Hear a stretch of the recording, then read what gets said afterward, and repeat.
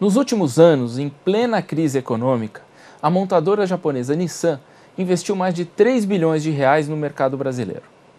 Parte desse dinheiro foi usada na construção de uma fábrica em Resende, no Rio de Janeiro. E mais de 700 milhões foram destinados ao projeto Kicks, o pequeno SUV que se tornou sucesso de mercado. O CEO da empresa, o Marco Silva, vai falar para a gente quais são os novos investimentos da companhia os carros que serão trazidos, suas impressões sobre o mercado automobilístico e também as tecnologias que guiarão a marca para o futuro. Marco Silva, muito obrigado por, por estar aqui no Moeda Forte, nos estúdios da B3. Agradeço a sua presença para falar sobre todos esses projetos da Nissan. Prazer é meu, é muito importante para mim estar aqui, estar participando do teu programa e estar falando com a tua audiência hoje. Muito obrigado. E Marco, me conta, me fala um pouco sobre a trajetória da Nissan, que chegou ali nos anos 2000, meio timidamente, e hoje é uma das principais montadoras instaladas no país. A Nissan, a história da Nissan é interessante porque ela passa por um período é, bem distinto durante esses 17, 18 anos que nós estamos no país. É, um primeiro período muito consolidado como importadora de veículos, né, e esse dentro dessa importação, desde os anos 2000 até a, até a fábrica de Resende, nós praticamente importávamos quase todos os veículos que a gente comercializava aqui no Brasil, comercializava é, desde Pathfinder, né, nos anos 2000, e aí vai até chegar no, no Tida, no Livina e outros veículos importados, e aí já com o trade com, com o México, a gente importava todos esses veículos no México. Ah, e a fabricação que tinha da Frontier na fábrica de, é, na fábrica de Curitiba, que é, fazia parte da aliança com a Renault. É, a partir do momento que a gente instala a fábrica em Resende, é o, é o divisor de águas do que era a Nissan, do que é a Nissan hoje. Porque com isso nós criamos nossa própria identidade, né? começamos a produzir os nossos próprios veículos e trouxe a marca aquela, aquela, para o mercado brasileiro aquela é, ideia de que sim, estamos aqui, não provisoriamente, mas estamos aqui para ficar no Brasil e realmente acreditando no país, né, com o desenvolvimento de produtos, e fabricação local. Quando que a fábrica, vocês decidiram construir a fábrica? A fábrica, a história da fábrica volta para os anos de 2011, 2012. É, Quando o mercado estava muito bom. O mercado já estava bom, existia uma perspectiva de mercado a 4 milhões de carros já em projeção é, até 2017, 2016, 2017, essa era a projeção de mais de 4 milhões de carros.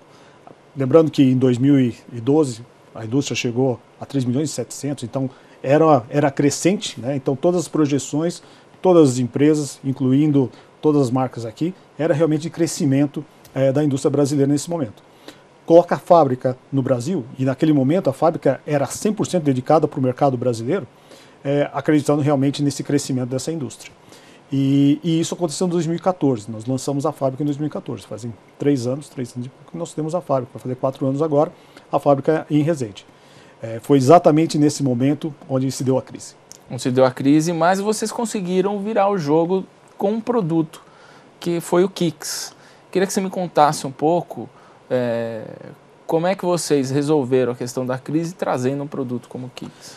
Foi um momento de, é, de atenção né, é, na parte de, de investimento, porque é, de um de um lado tínhamos nós acreditando no mercado brasileiro, acreditando no produto e querendo fazer é, é, dar certo esse programa no Brasil. É, do outro lado, todos os indicadores muito negativos e as, e as notícias que saíam aqui do Brasil para fora era muito negativo. Ah, tivemos uma discussão, lógico, isso tudo é, definido dentro desse nosso plano de governança que nós temos interno na corporação é, com o Japão, é, de faz, continuar fazendo investimento no Kicks no Brasil. A ideia foi fazer o lançamento do Kicks no Brasil ah, através da produção primeira do México, no momento das Olimpíadas, então foi o carro das Olimpíadas no seu momento, que nós, como, como é, é, sponsor, né, o, o, as Olimpíadas aqui no Rio de Janeiro, é, nós demos a, o kickoff do carro no Brasil, fizemos o lançamento do carro e a gente percebeu que o carro tinha sido um êxito completo e a gente tinha que fazer mais um investimento e decidimos, junto com a corporação, junto com a matriz, a, o investimento na fábrica de, é, de Resende para poder fazer a produção local.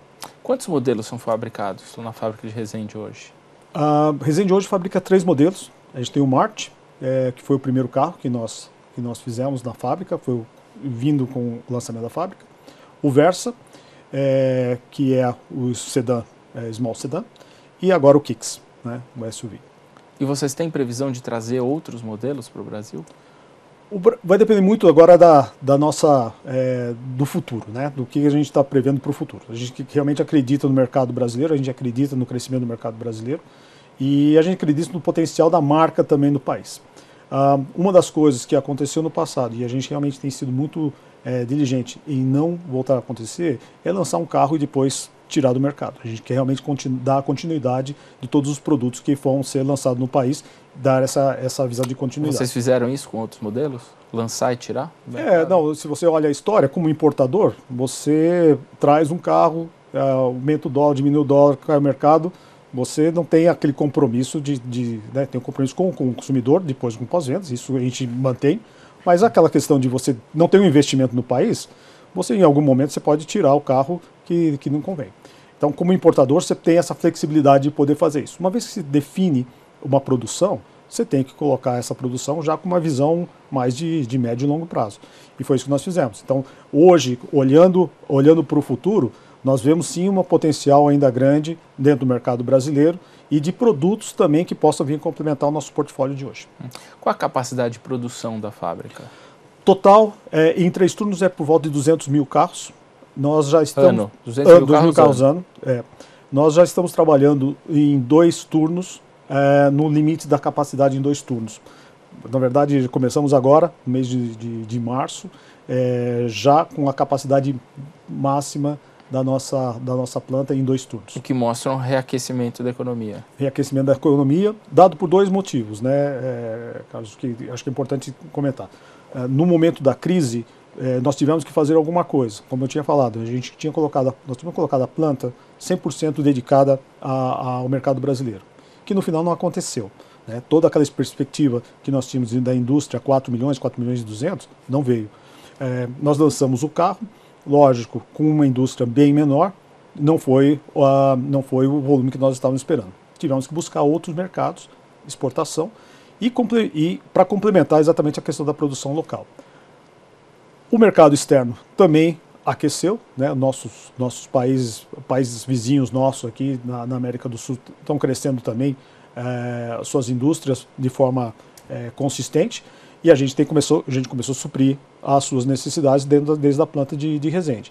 Então, complementando a, a, a produção para exportação, mais, mais a, a, o mercado doméstico, fez com que a gente atingisse o máximo da nossa capacidade com esses três modelos que a gente produz localmente. Hoje vocês exportam para quais países? A Nissan hoje exporta para Argentina, é, Chile, Peru, é, Paraguai, Uruguai, a, é, Panamá e Costa Rica. Então acabou virando, a fábrica de Resende acabou virando a base de exportação da Nissan para a América Latina. Nós temos uma operação muito forte na, na, no México. Né? Essa operação no México é muito forte. Ela abastecia todo o mercado, tanto parte do mercado norte-americano como o mercado da América Latina. Com, a, com o investimento em Resende, nós, na verdade, criamos aí um outro polo de industrialização dentro da América Latina, onde se complementa México e Brasil, se complementam nessa, nessa, é, no, no envio de veículos para todo e abastecimento de veículos em todo, toda a América Latina. É. Mas hoje nós somos um polo importante, principalmente para o Marte e para o Versa e agora com o Kicks. É. O, o, o, a Nissan faz parte do grupo Aliança, certo. que é Renault, Nissan e agora Mitsubishi, mais recentemente. Vocês têm uma, uma integração? Existem sinergias entre as três marcas? Como é que vocês operam aqui no país isso? É, eu vou, assim, a aliança, desde o seu conceito, né, e sua, do, da, da evolução da aliança, é, tem realmente fortalecido demais, a, principalmente a questão de sinergia na América Latina com a Renault, né, que é o primeiro partner, que nós, a primeira parte da aliança.